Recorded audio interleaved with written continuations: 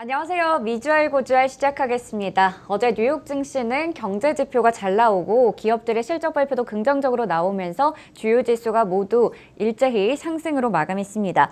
특히 팩트셋에 따르면 S&P 500 기업 중에서 88%가 예상치를 웃돈 2분기 실적을 기록했다고 하는데요. S&P 500 지수가 어제 종가 기준으로 사상 최고치를 경신하면서 마감했는데 어제 시장의 흐름이 좋았습니다. 이 좋았던 흐름 두 분과 이야기 나눠보도록 할게요. 이학영 교수님, 장우석 본부장님, 안녕하세요. 네, 안녕하세요. 네, 안녕하십니까. 네, 안녕하세요. 장우석입니다. 네, 어제도 시장이 좋았습니다. 어제 흐름 어땠는지 간략하게 또 이야기해 주세요. 네, S&P 500이 0.8% 종가로 끝났는데요. 이게 0.8% 의미가 뭐냐면 또다시 사상 최고가를 갔다는 거죠. 네. 올해 들어서 벌써 42번째입니다. 음. 어, 작년 1년 동안 33번인가 했으니까 벌써 엄청나게 지금 시장이 강하다라고 보셔야 되겠고요. 참 어찌 보면 이해가 안 될 정도로 계속 강화도를 보이고 있습니다. 다우지수 0.8%, 나스닥도 0.5% 올라갔는데요. 어, 사상 최고가 아주 조금 모자란 정도가 되겠습니다. 특히 오늘은 산업재나 소재주, 금융주들이 골고루 상승하는 모습을 보여주었습니다.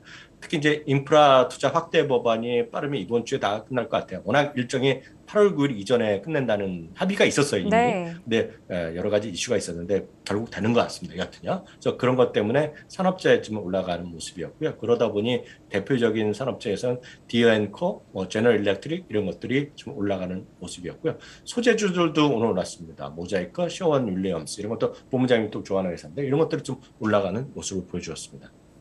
네, 지금 3대 지수와 업종별 흐름까지 좀 체크를 해봤는데 어, 지금 기대하고 있는 상원의 인프라 투자 확대 법안 이번 주 중으로 마무리될 것으로 보여서 이것과 관련해서도 여러분들 좀 눈여겨서 보실 만한 종목들 있으니까 체크해 보시면 좋을 것 같습니다. 자, 그리고 10년물 국채 금리가 좀 어제 어, 회복세를 보이면서 금융주들이 반등하는 모습이었거든요.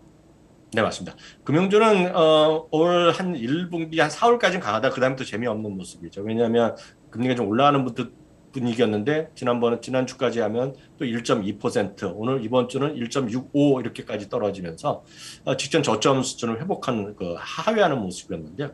다들 아는 거죠. 연말까지 가면 결국은 금리는 다시 올라가지 않겠느라는 기대감이 분명히 있거든요. 근데 모르겠습니다. 이번 바닥이 바닥일지 모르겠으나 어떤 금융주의 반등의 계기로 어, 삼은 건 분명하겠고요. 반면에 유가는 또 이제 어느 정도 어떤 어, 반등세를 지속하는 듯 했더니 다시 조금씩 조금씩 내려가는 그런 어, 좀 에너지 관료 관련 갖고 계신 분들한테는 약간은 속상한 구간이 이어지고 있다라고 이해하시면 되겠고요. 어, 앞서 이제 처음에 이제 모두 이런 말씀드렸습니다. 코로나 19의 변이가 확산되고 있, 있고 미국도 늘어나고 있는데 주가는 지금 오히려 빠지지 않고 오히려 최고가 네. 행진을 가고 있거든요. 이것을 이런 거에 관해서 궁금한 점이 많은데 한 두 가지만 말씀드리면 첫 번째는 어찌되었건 미국의 실적이 좋아도 너무 좋은 거죠. 그렇죠. 2분기의 실적이 지금 한 70%까지 나왔는데 이익 전망, 이익 증가율 자체가 전년 동기 대비 90%를 뛰어넘었었습니다. 오늘 업데이트된 거 보면은요. 그만큼 실적이 좋아진다는 그런 배경이 있겠고요. 코로나19는 진짜 이슈가 많은데 코로나19가 지금 미국 기준으로 보면 최근 2주일 동안에 한 150%까지 급등했거든요. 네. 그렇지만 영국은 오히려 한 50% 정도 줄어드는 음. 모습. 그리고 전 세계에서도 한 15% 늘었지만 미국을 제외하면 불과 6%밖에 늘지 않았기 때문에 어, 이게 그렇게 오래 갈 일이 아니다라는 얘기를 지금 긍정적으로 보는 사람도 있겠고요. 텀리도 그 중에 한 명이라고 보여지고 있고요. 텀리 같은 경우에는 어, 금리도 구체적으로 8월 말 정도 되면 바닥을 치고 확 올라갈 거기 때문에 시장은 여전히 긍정적인 view주를 view를 유지한다라고 얘기하고 있다는 것도 참고하시면 좋겠습니다. 네, 지금 델타 변이 바이러스 확산도 아무래도 좀 정점으로 가면서 지금 시장에 대한 우려를 좀 하는 분들도 많으실 것 같은데요. 이렇게 월가에서는 긍정적인 시각을 제시하고 있다는 점도 톰 리의 시각을 통해서 확인해 볼 수 있었습니다. 네, 여기 네. 톰 리 얘기도 좋은데 음. 일단은 그럼에도 불구하고 조금 그 8월 달은요. 네, 8월 달은 조금 그렇게 강하지 않을 걸로 볼 수도 있다는 의견이 있는데 기본적으로 월봉 기준 지금 6개월째 시장이 올라오지 않았습니까? 네, 좀 시장에 지칠 수 있는 그런 수준에 와 있다고 좀 보시면 될 것 같기 때문에 너무 이렇게 뭐 과도하게 너무 이렇게 긍정적으로 보지 마시고 조금만 쉬어갈 수 있다고 보시면 좋을 것 같고요. 특히 이제 아시겠지만 또 상반기에 S&P 500 그 수익률이 이미 원래 일간의 수익률을 초과하는 그런 모습 보였거든요. 그러다 네. 보니까 하반기로 갈수록 약간 힘이 떨어질 수 있다고 보시면 될 것 같고요. 오히려 오히려 안 쉬면 오히려 안 쉬면 나중에 스케일 떨어질 수 있기 때문에 조금 쉬어가는 것도 나쁘지 않다고 보시는 게 맞을 것 같습니다. 네, 좋습니다. 자, 그럼 이번에는 제가 준비한 시간이죠. 애프터마켓 이슈 종목들 하나씩 확인해 볼 텐데 어, 실적을 발표한 기업들이 많기 때문에 실적 발표한 기업들 위주로 좀 뽑아봤습니다. 자, 먼저 언더아머 볼 텐데요. 뭐 언더아머 비롯해서 어제 의류주들 랄프로렌, 나이키까지 뭐 다 좋은 흐름이었습니다. 언더아머가 호실적을 발표했고 실적의 전망까지 상향 조정하면서 7%대로 어제 상승 마감했는데요. 사람들이 다시 외출하면서 체육관이나 요가 센터를 찾으니까 이 운동복과 운동화에 대한 수요가 증가했습니다. 그리고 랄프로렌도 호실적을 냈고 나이키 같은 경우에는 어제 또 사상 최고가를 경신하는 모습이었고요. 어. 어, 세 종목 모두 애프터에서는 소폭 하락하는 모습이었습니다. 음, 음. 언더아머는 우리 교수님이 굉장히 좋아하는 그런 브랜드입니다. 그래서 네. 뭐 입고 다니시는데 음. 사실 저는 개인적으로 언더아머가 이번에 EPS가 한 4배가 더 잘 나오는 그런 모습 보였거든요. 네, 네. 오히려 전 주가 상승이 조금 더 가도 될 것 같은데 조금 오. 소박하게 올라간 게 아닌가 네. 싶고요. 그렇지만 이제 어차피 음. 하루 정도 보유하는 게 아니기 때문에 네. 쭉 보유하시면 좋은 특히 언더아머가 회복되는 속도가 좀 빠르기 때문에 혹시 음. 없는 분들은 관심을 가지라고 좀 조언 드려보겠습니다. 네, 맞습니다. 언더아머 좀 다소 생소하게 느끼셨던 분들도 계셨던 것 같은데요. 이번 기회로 언더아머에도 관심을 네. 가져보시면 좋을 것 같네요. 자, 이번에는 액티비전 블리자드 볼 텐데 어제 게임주들이 좀 일제히 시장에서 좀 타격을 받는 모습이었습니다. 어, 먼저 액티비전 블리자드 비롯해서 이 중국에서 어, 청소년들의 온라인 게임 중독이 심각하다면서 게임이 정신적인 아편이다라고 중국의 관영 매체가 좀 비판을 했거든요. 그러면서 중국 에서 이제는 게임에 대한 우려 어, 규제가 나오지 않을까 하는 우려 때문에 어제 다 같이 좀 내리는 모습이었습니다. 하지만 액티비전 블리자드 같은 경우 오늘 장 마감 이후에 호실적을 기록하면서 오히려 주가가 6% 넘게 상승으로 애프터에서 상승하는 모습이 나타났고 그리고 텐센트 같은 경우에는 이런 규제가 나타난다면 좀 발빠르게 우리가 조치를 취하겠다라고 나서는 모습이었고요. 이외에도 어제 테이크 투 인터랙티브 같은 경우 일부 게임의 출시 지연 이슈가 나오면서 좀 하락하는 모습, 일렉트로닉 아츠도 하락하는 모습이었습니다. 예, 그렇습니다. 사실 이제 제가 이제 어제 그 약간 책별 당한 게 있는데요. 그 게임 중에 아너 오브 킹즈라는 게임이 있나 봐요. 네. 저는 모르겠습니다. 네. 그걸 저도- 여덟 시간씩 네. 한다는 그런 비판이 이어지면서 네. 이렇게 하면 되겠냐 청소년들 하루에 한시간만 해보자라는 어떤 그런 규제가 나올 가능성 때문에 빠졌는데 네. 사실 이제 저는 개인적으로 저는 저는 저는 네. 제 지인이 워낙 많이 하다 보니까 음. 저는 거기에 거기에 동의합니다만 네. 사실 이제 그런다고 해서 못하는 게 아니지 않습니까? 그렇죠. 그래서 과도한 네. 그런 규제라기보다는 오히려 왜 게임을 많이 할까라는 어떤 그런 관심을 가진 게 좋을 것 같고요. 네. 저는 일단은 이 나오, 매일매일 나오고 있는 이 중국의 규제 있지 않습니까? 이런 네. 것들이 조금 안 나온 날이 있으면 어떨까 하는 그래- 그런 음. 기대감을 가져보도록 하겠습니다. 네, 근데 맞습니다. 제가 보기에는 중국의 규제가 쉽게 물러나지 않을 거기 때문에 음. 아마 중국 관련 기업들 보유하신 분들은 상당히 걱정스러운 그런 모습을 보일 걸로 또 보입니다. 네, 맞습니다. 아무래도 뭐 최근에 교육주에 대해서 이렇게 규제를 하다가 이제는 좀 게임주로 넘어가는 게 아닌가라는 생각도 드는데 일단은 그런 우려에도 불구하고 호실적을 발표하면서 애프터에서는 액티비전 블리자드가 상승했다는 점도 체크하시면 좋을 것 같고요. 자, 다음 종목 넘어가 보겠습니다. 모더나, 화이자, 뭐 일라일릴리 계속해서 지금 사상 최고가 랠리를 좀 보이고 있거든요. 모더나 같은 경우에는 오는 5일에 또 실적 발표에 대한 기대감까지 가져가고 있는 상황입니다. 그리고 마이크로소프트, 구글, 페이스북 등 이 기업들도 직원들이 출근하기 전에 무조건 코로나19 백신을 접종하고 나서 어, 출근을 해야 된다 이런 얘기를 했기 때문에 이런 기대감이 계속해서 더해지고 있고요. 또 화이자 같은 경우에는 최근에 경구용 항바이러스제의 임상 실험에서 긍정적인 결과를 도출했다라는 소식도 나왔고 일라일릴리는 어제 개장 전에 어, 호실적을 나타냈는데 일단 매출 같은 경우에는 예상치를 상회했지만 EPS가 예상치를 소폭 하회하면서 그럼에도 불구하고 3%대로 상승하면서 사상 최고치를 기록 하는 모습이었습니다. 모더나도 제가 잠깐 말씀드리면 네.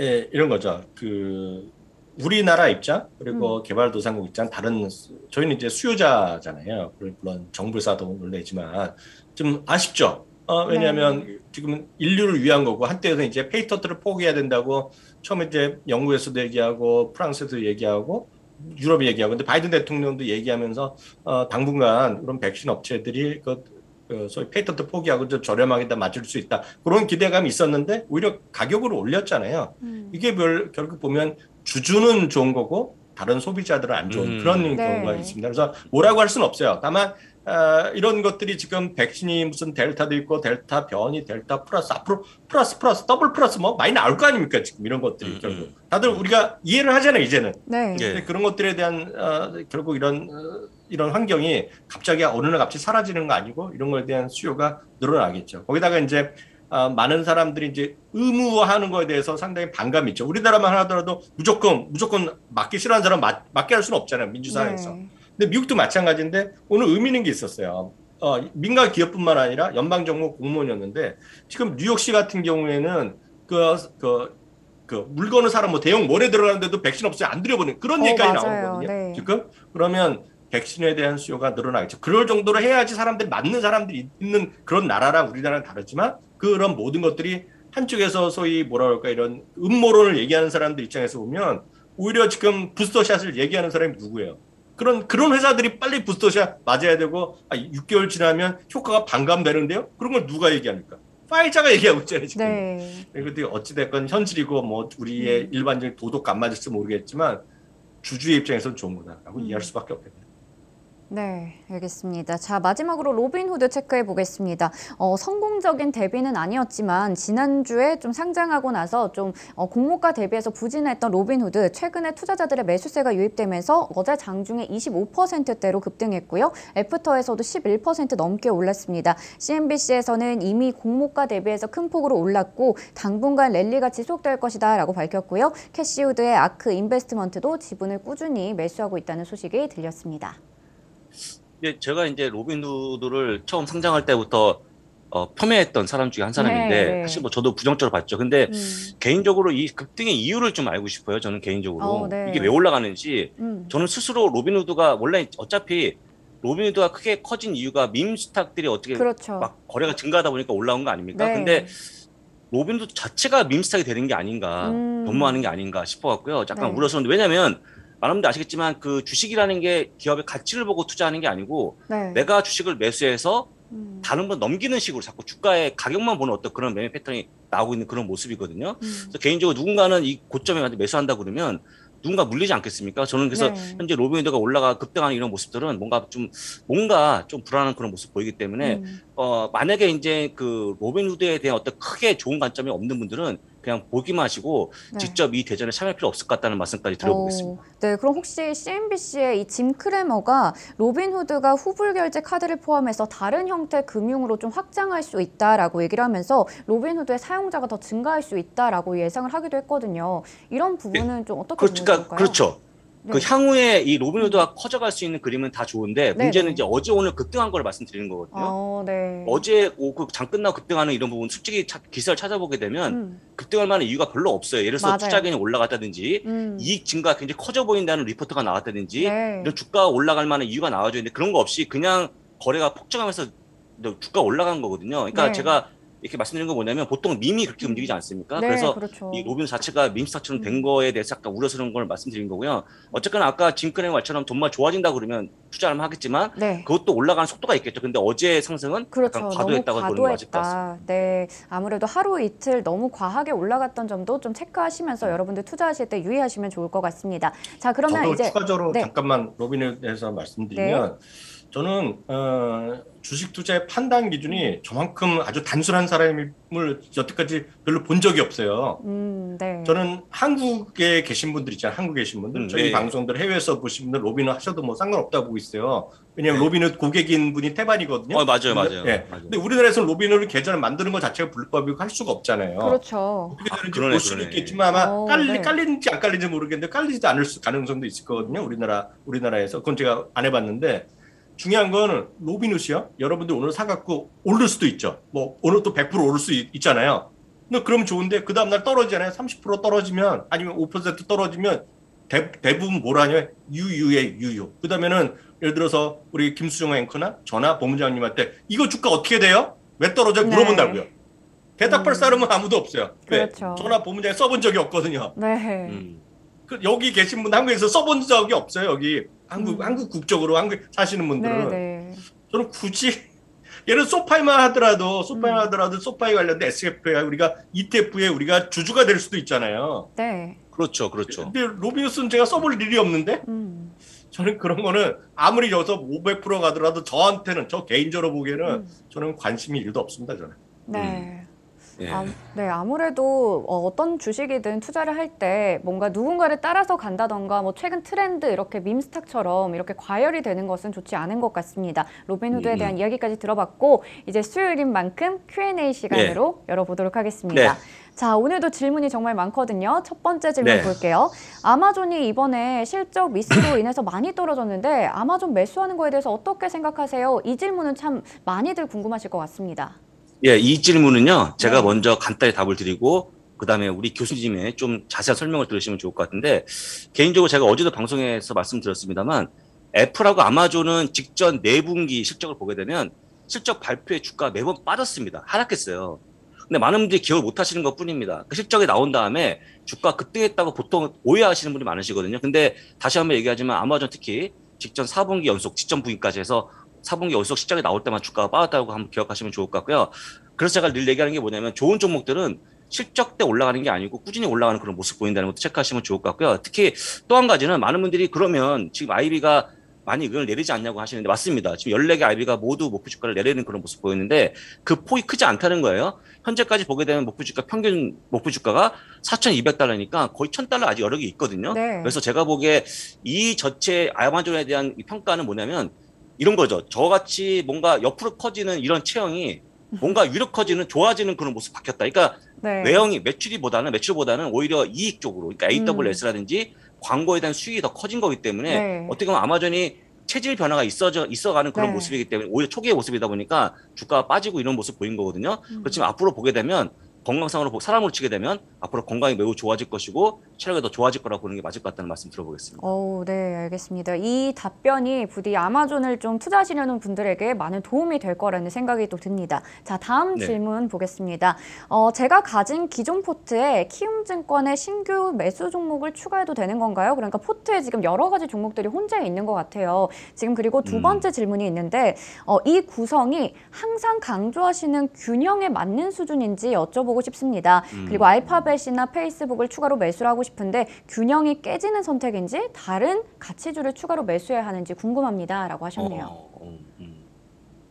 네, 제가 좀, 어, 예, 예. 네. 제가 좀 봐드리면 예. 어, 뭐라 그럴까요? 이분은 보통 우리가 어, 아시는 보통 젊은 분들보다는 성장주나 IT 주식이 좀 적은 분이죠. 왜냐하면 한 40% 정도 되는데 웬만한 분들은 한 70%에서 80% 정도가 성장주로 몰려 있거든요. 네. 그런 거에 음. 비해서는 주식은 절적, 적절하게 잘 균형감 있게 돼 있다라고 좀 보고 있거든요. 그래서 다 좋은 주식을 갖고 계시고 트랜스타임까지 갖고 계시면 진짜 이- 이분은 저희 미주미를 많이 좋아하시고 우리 미주알고주알 많이 보신 분이라고 보고 있고요. 음. 좋은 주식 갖고 계십니다.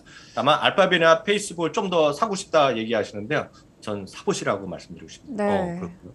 저는요, 이, 이분의 어떤 앞에 나오는 얘기, 미주미 영상, 월가아재 영상, 그 다음에 키움증권 포트폴리오, 이거가 공통점이 있어요. 이게 뭐냐면, 뿌리가 같아요, 뿌리가. 어떤 뿌리냐면, 우리가 이제 뭐 주식을 막 그 테크니컬한 분석을 하거나 화려하게 매매하기보다는 정말 좋은 종목을 골라서 꾸준하게, 근데 사람들이 싫어하지만, 저희 나름대로 고집스럽게 하는 그런 어, 종목 발굴 기법은 똑같거든요. 그러니까 여러분들이 만약에 보신다 그러면 오히려 아, 가치주 아니면 좋은 종목을 골라간다 그러면 반드시 여기서 고르셔야 될 것 같고요. 그 다음에 그게 또 포함된 게 월- 키움주까지 이어지는 거기 때문에 이 세 가지 중에서 만약 추천하는 종목이 있다고 그러면 만약에 공통점이 있다고 그러면 전 무조건 매수해야 한다고 보고 있고 왜냐하면 실적이 좋은 기업을 얘기하는 거니까 네. 무조건 추천해 추천한다고 종목을 감안하시는 게 맞다고 생각이 들고요. 뒤에 페이지 보시게 되면 쭉 종목이 나오는데 저는 개인적으로 개인이 담을 수 있는 가장 최적화된 포트폴리오 이게 오, 이렇게 네. 포트폴리오를 구성할 수 있을까 싶을 정도까지 네. 정말 잘 돼 있습니다. 왜냐하면 어, 네. 보시면 아시겠지만 마이크로소프트 같은 기업도 있는데 한편에 디즈니가 또 포함되어 있죠. 그 다음에 음. 에너지 기업인 필립스 66이 포함되어 있다는 거는 상당히 잘 돼 있는 구성이기 때문에 더할 나위 없는 포트폴리오라고 말씀드리겠고요. 어, 다시 얘기하지만 이건 자랑 수준의 어떤 포트폴리오가 아닌가라고 네. 말씀드리겠습니다. 어, 또 칭찬까지 받으셨거든요. 지금 네, 어, 우리. 미주알 고주알 또 애청하시는 분인 것 같은데 어, 이 포트에 대해서 이야기도 해주셨고 또 알파벳 매, 어, 페이스북 같은 경우에도 추가 매수 가능하다고 얘기해 주셨, 해주셨 으니까 댓글에다가 또 남겨주시면 좋을 것 같습니다. 네, 그렇습니다. 자, 다음 질문으로 확인해 보겠습니다.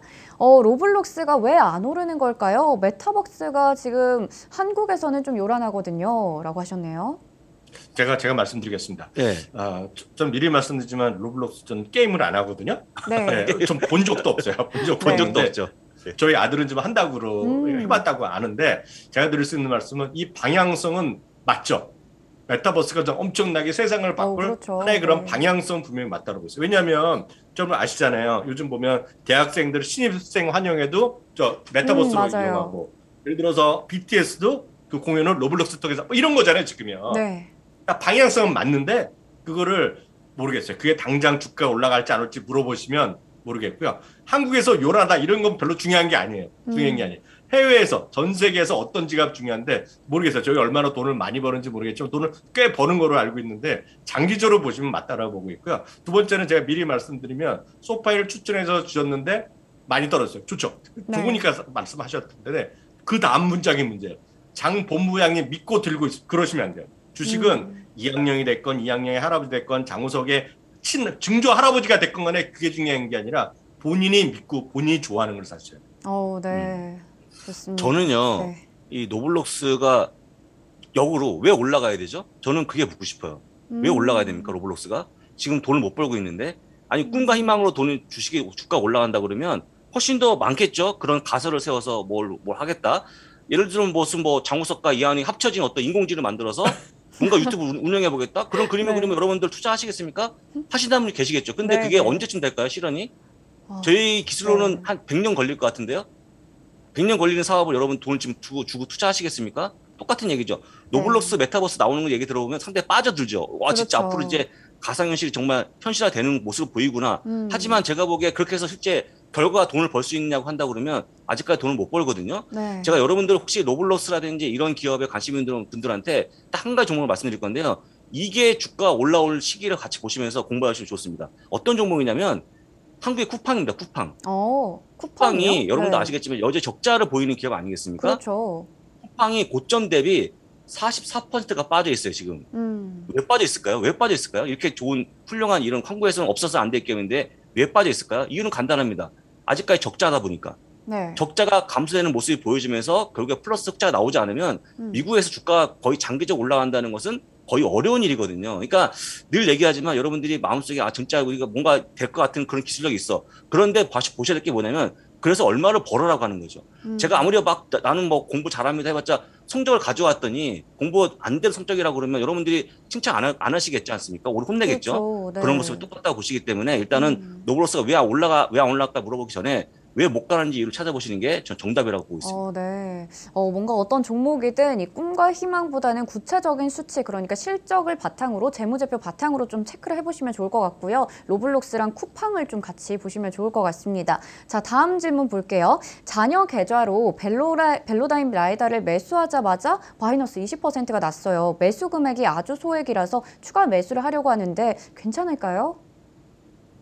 이거는요, 제가 진짜 그 따끔하게 좀 조언을 드리고 있습니다. 왜냐면 왜 자녀 계좌로 벨로다인 같은 주식 사셨는지 저는 이해가 안 됩니다. 어, 네. 그럼 자녀 계좌로 처음부터 이해가 안 되는 기업이겠죠. 벨로다인은 제가 음. 작년 겨울부터 벨로다인 라이다 기술이 막 뛰어나다 얘기할 때부터 똑같은 어조로 얘기했습니다. 아무리 뛰어난 기업이라도 돈을 벌지 못하면 그런 기업을 투자하면 안 된다. 근데 더군다나 그 자녀 계좌로 주식을 매수했다는 거는 시작하자마자 손실이 나오지 않습니까? 지금 벨로다인 차트를 보시게 되면 아시겠지만 거의 진짜 지하를 뚫고 내려가는 모습, 지하 3층까지 와 있어요. 아, 그런데도 네. 불구하고 샀다는 것은 그건 아마 자녀 계좌를 통해서 본인의 어떤 그 주식을 산 것 같은데요. 특히나 자녀 계좌를 통해서 이렇게 이런 아픔을 먼저 보여주면 자녀분 상당히 좀 기분이 안 좋아할 걸로 보이고 있고 또한 음. 가지는 뭐냐면 이런 라이다 기술 이것도 똑같이 아까 앞서 말씀드린 것처럼 돈이 벌리는 시기에 투자해도 늦지 않습니다. 그거는 테슬라가 이미 증명했고요. 테슬라가 실제 주가 많이 올라간 게 1, 2년밖에 안 됐어요. 우리가 보는 보통 우리가 얘기하는 흑자 전환했을 때 올라간 그런 모습 보이기 때문에 이 역시 이 기업도 역시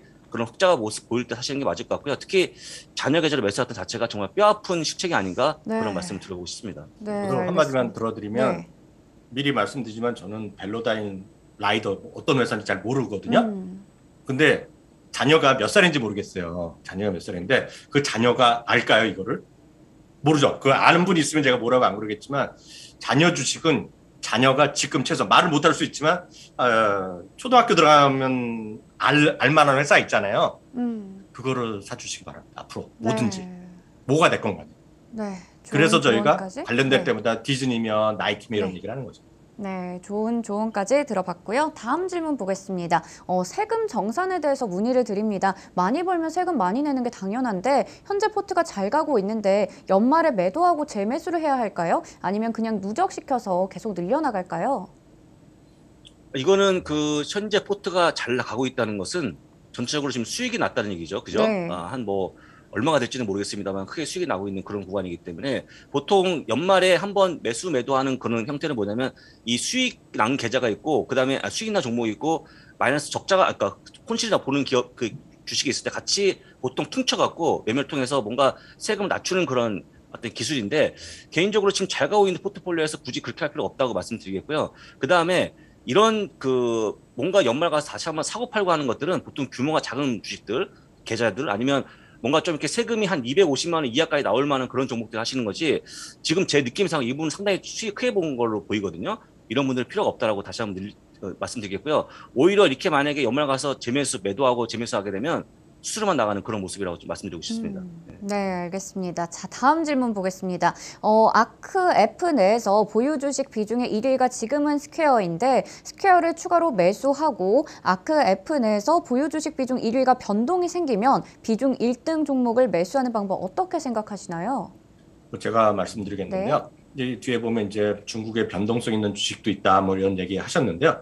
중요한 건 ETF는 ETF의 특성이 있거든요. 펀드면 펀드의 특성이 있고 네. 그런 포트폴리오로 관리하는 거기 때문에 그 중에 하나 주식이 올라가고 떨어지고 비중 늘고 내리고가 의미가 없어요. 많은 음. 분들이 ARK 인베스트가 처음에 한때 유행했을 때 보면 산 주식, 판 주식을 매번 얘기하고 그걸 미국에서도 이때 그 유튜브가 있고 한국에서도 유튜브가 있고 아예 그런 앱이 있습니다. 여러분들이 물어볼 필요 없어요. 앱을 딱 보시면 매일매일 상급한 거를 다 알려주거든요. 근데 그런 거에서 돈을 버느냐? 돈은 못 벌어요. 왜?